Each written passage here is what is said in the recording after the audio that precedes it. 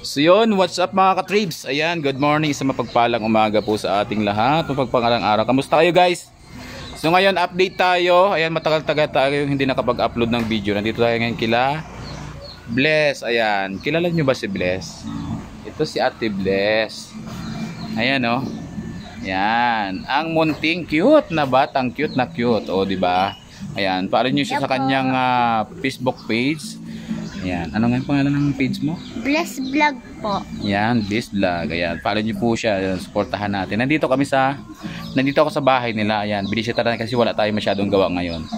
So, yung gina- ginagawa natin, binibisita natin yung mga sinusuportahan natin. Kaya supportin po natin si, ay, si Ate Bless. Ayan, sige. May sasabihin ka? Wala.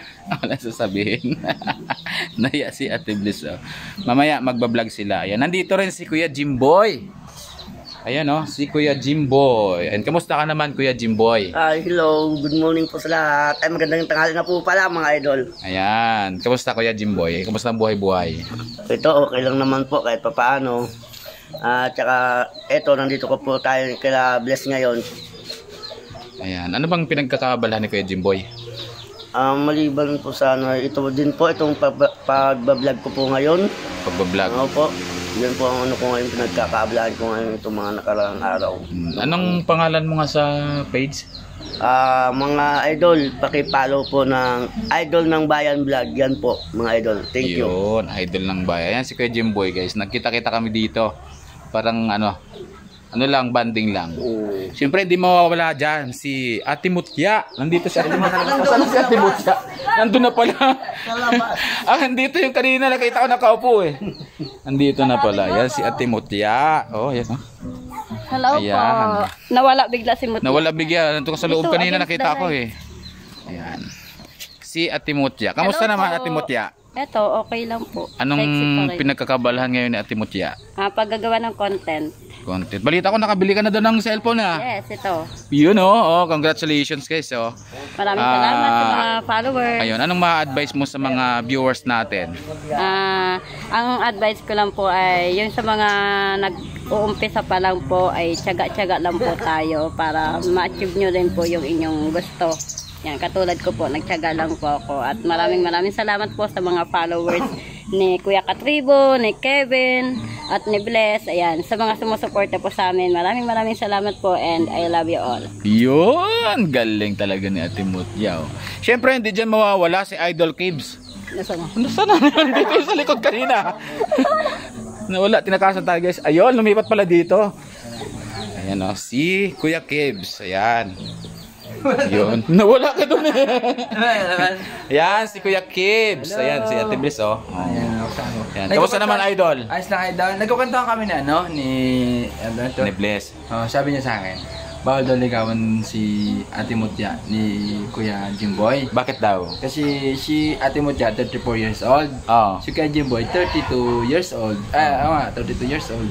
Oh. Sabi ko pwede yun basta nagmamahalan. Yeah! oh,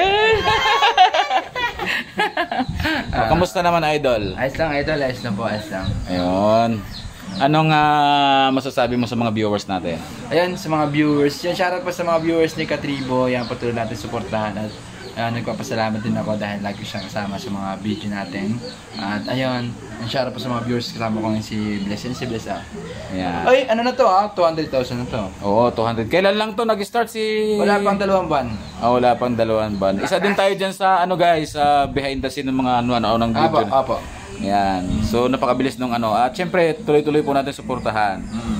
Si Bless at syempre si Idol. Mm. Ayan. Ah, tanong mo si ano dal, Bless Vlog, tanong mo. Bless, tanong ka lang kay ano. Ah, anong ano, anong masasabi mo sa mga viewers natin? Mm. Yung mga followers mo, dami mo ng followers ngayon. Ang dami ng followers. Yeah. 200,000 followers ka naman sabi. Marami nang nag-idol sa'yo, no? Marami na lang nag- ano sa'yo. Oh, Dami na. sikat ka na.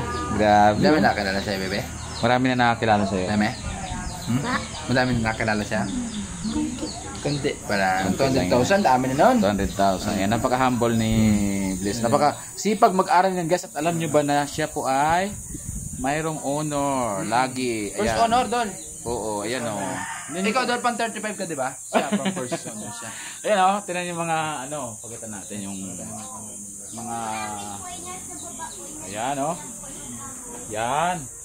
Yan ang kanyang mga medal. Bless. O yan o, ang dami niya mga award o. Oh, grabe o. O, di ba? Mga certificate. Ang dami niyang ribbon o. Oh. Di ba? Ayan. So yun dito, banding-banding lang kami guys. Dito yung nanay ni Bliss nagluluto. Ito. Ayan, si Kuya. Ayan, kumusta po? Ayan, siya yung tatay ni Bliss guys. May kausap. At ito yung mami ni Bliss.